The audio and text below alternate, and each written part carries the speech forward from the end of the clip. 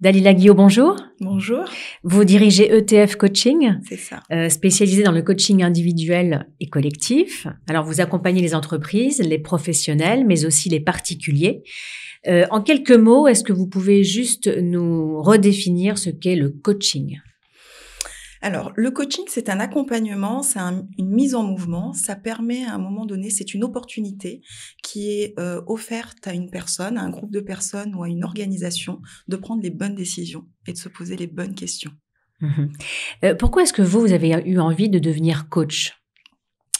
Euh, J'aime fondamentalement l'humain. J'ai toujours eu un coach qui sommeillait en moi.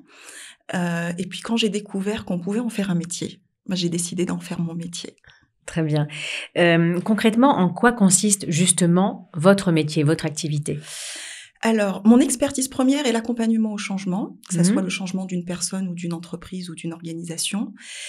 J'ai une palette d'outils, évidemment, je me forme continuellement. Au-delà de la palette d'outils, j'ai une croyance qui est ce qui nous empêche d'avancer dans la vie, ce sont nos peurs, nos inquiétudes. Et ce qui nous aide à avancer, ce sont nos rêves. Et donc, ma valeur ajoutée, c'est de m'assurer que chaque personne dispose d'un rêve, d'un projet, d'une ambition. Et je l'aide en fait, je l'accompagne à passer à l'action pour qu'elle puisse l'atteindre. Mm-hmm. Donc, je l'aide à passer à l'action en levant les peurs et en mettant en place des routines qui la sécurisent. Très bien. Euh, quels sont les différents objectifs du coaching professionnel? Euh, j'ai envie de vous dire qu'il y a autant d'objectifs que de clients. Mmh. Euh, maintenant, euh, on peut parler également d'objectifs individuels ou d'objectifs collectifs. Mmh. Euh, un client qui vient me voir vient avec une situation, un contexte, une problématique. Il n'a pas forcément un objectif en soi.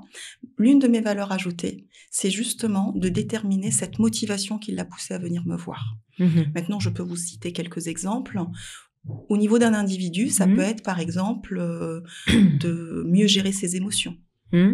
de pouvoir dire ce qu'il pense et penser ce qu'il dit. Mmh. Au niveau d'une organisation, ça va être par exemple un coaching d'efficacité. Comment atteindre les objectifs sans, euh, sans démultiplier les énergies là où ce n'est pas utile. Voilà. D'accord. Euh, comment se déroule une séance? Donc une séance, j'ai envie de dire que chaque séance est particulière. Il y a un début, un milieu et une fin. Euh, mon objectif, c'est de définir le souhait du client. Il est mhm. important qu'il ait un objectif pour la séance. Et puis, euh, par le biais du questionnement et des outils, euh, il est important qu'il puisse arriver à un plan d'action. Mhm. Et en général, euh, je termine mes séances en déterminant quels ont été les bénéfices finalement pour le client pour pouvoir ancrer et faire en sorte que le travail débute dès la fin de la séance. Mmh euh, en quoi l'accompagnement euh, est selon vous un levier de performance pour les entreprises? Euh, quand on pose la question de la performance, on se pose également la question du retour sur investissement euh, d'un tel accompagnement.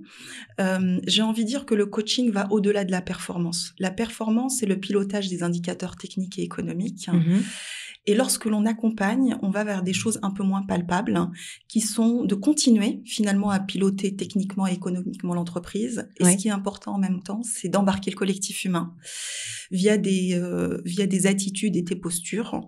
On va décloisonner les équipes, on va faire en sorte que les gens communiquent mieux, on va faire en sorte de déparasiter le quotidien et les agendas pour que les gens soient plus euh, plus performants. Et tout ça, finalement, c'est non palpable. Et c'est en cela, euh, c'est en cela que le coaching est puissant, en fait. Mhm. Euh, de manière générale, quels sont les bienfaits d'un travail sur soi? Euh, si je fais le parallèle avec une entreprise, je dirais que ça permet de devenir le patron de sa propre vie, de prendre ses décisions en conscience, d'être aligné, d'être bien. Quand cet accompagnement s'adresse aux dirigeants, j'ai envie de mhm. dire qu'un dirigeant heureux donne une entreprise performante et des équipes heureuses. Voilà. Merci infiniment, Dalila Guillot, d'avoir accepté de répondre à nos questions euh, aujourd'hui. Merci bien.